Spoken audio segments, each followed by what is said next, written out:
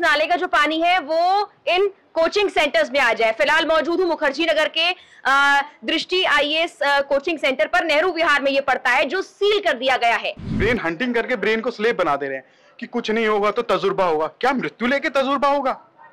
मृत्यु के बाद तजुर्बा होगा? बच्चे की वहाँ पे मृत्यु हुई नीलेश की। वो बिजली से करंट लगा उसको। अक्सर आपने ना देखा होगा कि जो शॉपिंग सेंटर्स होते हैं पालिका बाज़ार कह लीजिए, वहाँ अंडरग्राउंड आपने दुकानें देखी होंगी। बिल्कुल वैसे ही अधिकारी और अफसर बनाने वाली दुकानें आपको ये नज़र आएँगी, जिन्हें यहाँ पर अगर नाले का पानी आ गया तो यहाँ करंट आगजनी कुछ भी हो सकता है।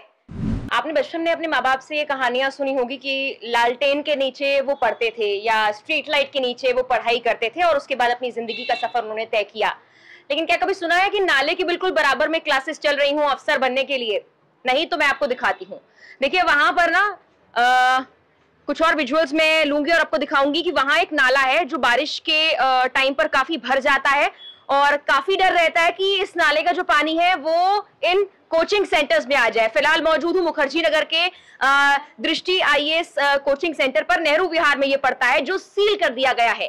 कारण है, जो करोलबाग के पास दुर्घटना हुई राजेंद्र नगर में, उसके बाद यहाँ पर छापा पड़ा और यहाँ बेसमेंट में क्लास चल रही थी, जिसे अब सील कर दिया गया है। जो मेन ऑफ़िस है मुखर्जी नगर में दृष्टि आईएएस का वहाँ पर ताबड़तोड़ प्रदर्शन जो है यूपीएससी एस्पिरेंट्स का चल रहा है। लेकिन विकास दिव्य कीर्ति का जो ये कोचिंग इंस्टीट्यूट नेहरू विहार में पढ़ रहा है, देखिए इसको फ़िलहाल सील कर दिया है। बेसमेंट में इसकी क्लासेस चल रही थी और यही कारण है कि फ़िलहाल इसे सील कर दिया गया। यहाँ भी पास में नाला है। राजेंद्र नगर में भी पास में नाला था और नाले का पानी अचानक एक दिन राजेंद्र नगर के राउस कोचिंग सेंटर के बेसमेंट पे जो लाइब्रेरी है, वहाँ पर घुस गया और उसके बाद परिणाम सभी ने देखा कि तीन बच्चों ने अपनी जान गवा दी है। इस कोचिंग सेंटर के साथ ही कई और ऐसे कोचिंग सेंटर्स हैं जिन पर सवाल उठाया जा रहा है और ये जो पूरा कॉम्प्लेक्स यहाँ पर आप देखेंगे, इस पूरे कॉम्प्लेक्स में ही बहुत सारी ऐसी क्लासेस है जो बेसमेंट में चलती हैं। हालाँकि कितनों पर एमसीडी कार्रवाई करेगी ये देखने वाली बात है।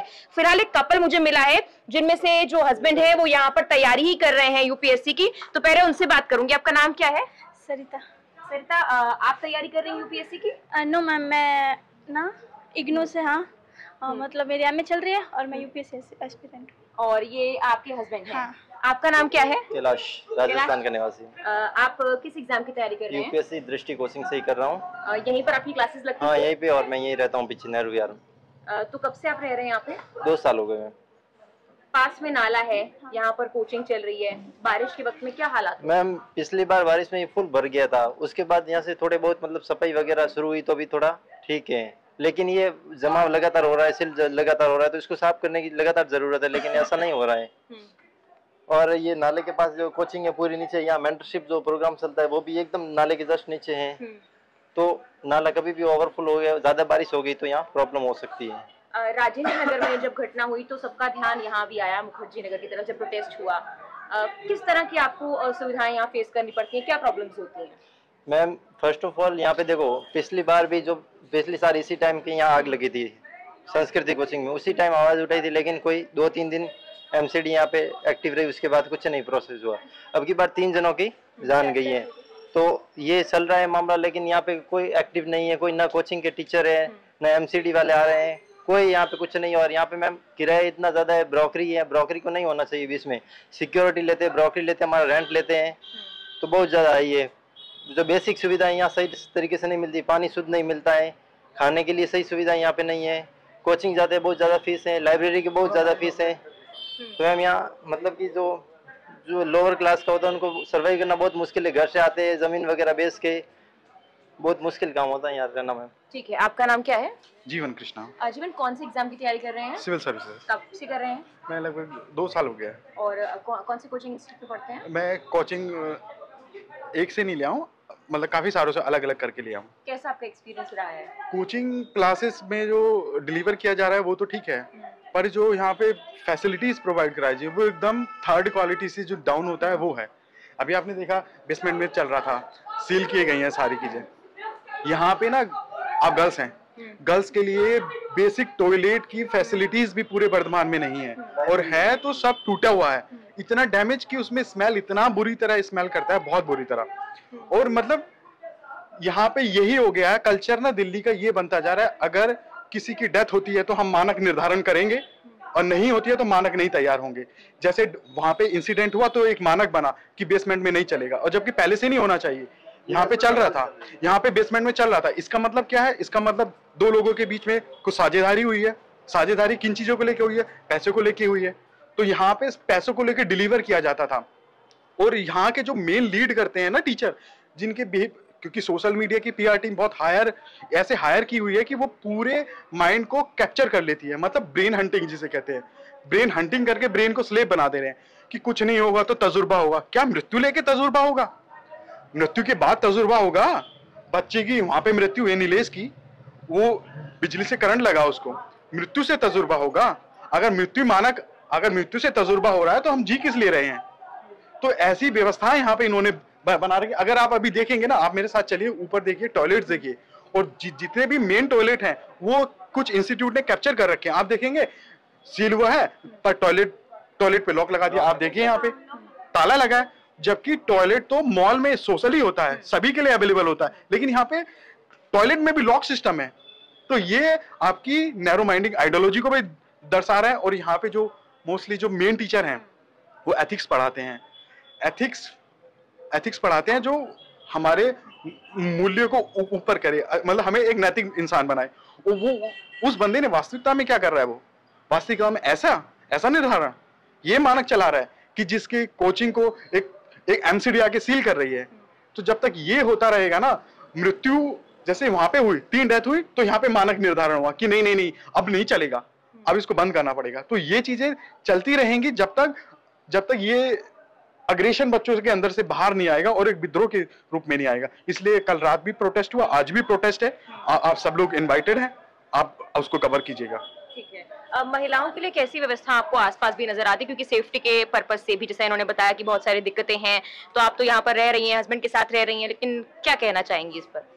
मैम ना लड़कियों के लिए ना कुछ ज़्यादा यहाँ पे कोई सेफ्टी देखने को मिलती नहीं है। रात को है ना मैं चाहूँ ना तो यहाँ अकेले आ नहीं सकती हूँ क्योंकि है ना वो खतरा लगा रहता है एनी टाइम और यहाँ पे है ना मैम हर जगह अंधेरा ही अंधेरा रहता है। यहाँ पे है ना रोड लाइट की वगैरह कोई इतना है नहीं। और हाँ और लाइब्रेरी वगैरह ऊपर जाते हैं तो मैम फिंगरप्रिंट्स यूज़ होता है। फिंगरप्रिंट्स यूज़ होता है तो बाई चांस कभी ना लाइट चली जाए कुछ हादसा हो जाए तो मैम वो स्टूडेंट कैसे बाहर निकलेंगे और कैसे अपनी मतलब वो जान बचाएँगे? जैसा कि वहाँ राजेंद्र नगर में हुआ हाँ मैम यहाँ पे है ना ये लाइब्रेरी करते हैं तो इनका भी है ना मतलब फिंगरप्रिंट्स वाला ही सब यहाँ पे सिस्टम चलता है। हम्म। तो मैम यही कहना चाहते हैं कि सिस्टम में थोड़ा सुधार हो जाए। हमारा ना यही कहना है कि ना मैम ये ना भ्रष्टाचार हटाया जाए। ठीक है।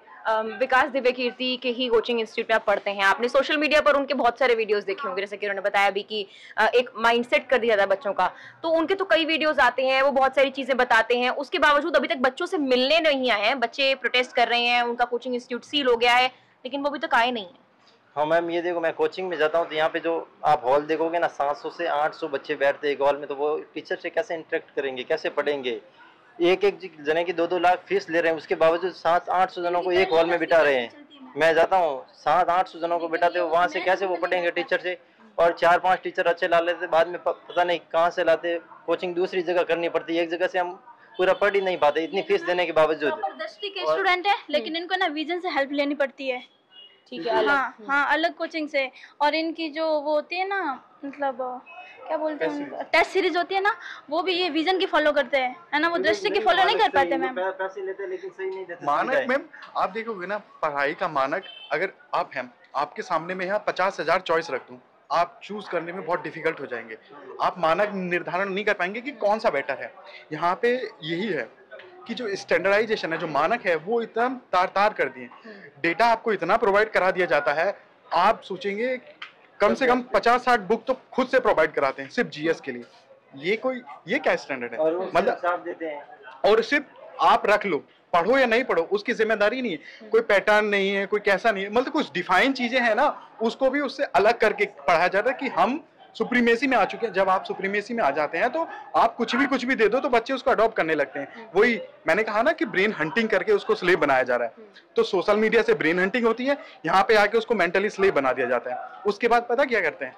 पीटी होता है। पीटी के बाद बच्चों को एक्सट्रैक्ट करते हैं कि दस हज़ार रुपये पर मंथ देंगे हम तुमको या फिर तुम्हारे लिए बेसिक कम्युनिटी चीज़ें हैं वो प्रोवाइड करा देंगे। इस चीज़ों को वो करते हैं।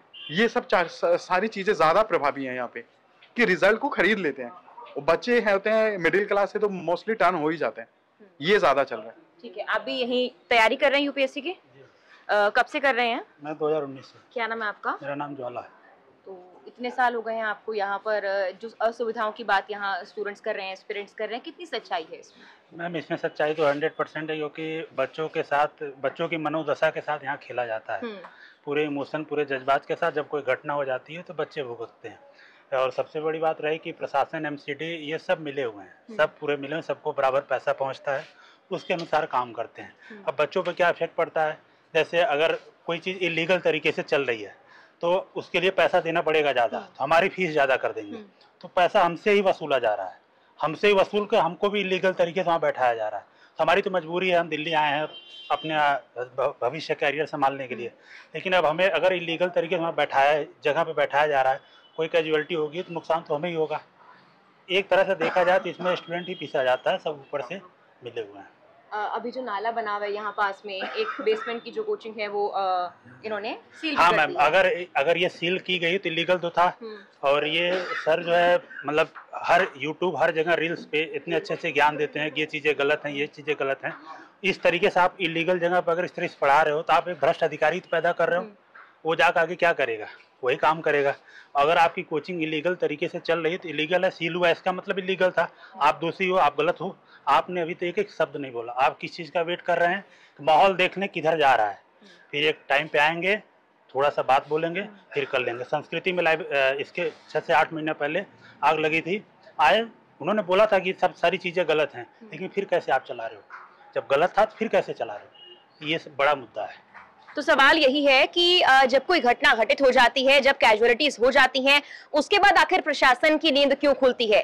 क्या मुखर्जी नगर में भी इंतज़ार किया जा रहा था कि कोई इस तरह का हादसा होगा, कोई घटना होगी, कभी नाला उफान पर आएगा और बेसमेंट तक पहुंचेगा, तब जाकर यहाँ पर जो क्लासेस है, वो बंद की जाएँगी?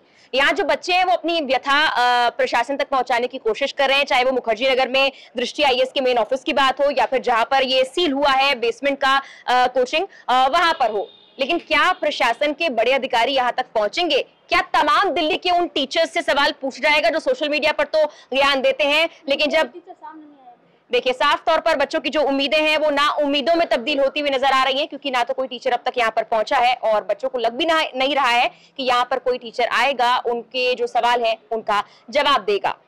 ये वो दृष्टि कोचिंग की सील की हुई जगह जहाँ पर अंडरग्राउंड क्लासेस चल रही थी और ये मानक के खिलाफ था जब राजेंद्र नगर में घटना हो गई तब प्रशासन को ये याद आया है। आपको मैं दिखाती हूँ कि कहाँ पर ये है। देखिए नीचे तक हमें आना पड़ा है। और भी ज़्यादा नीचे है अभी बता रही हैं।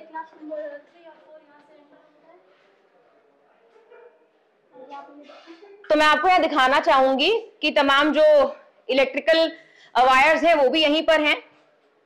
और इसी के पास में लिफ्ट बनी हुई है। फायर इक्विपमेंट रखा हुआ है और यहाँ यहाँ पीने के पानी की व्यवस्था इन्होंने की हुई है। क्लासेस कहाँ पर चलती हैं?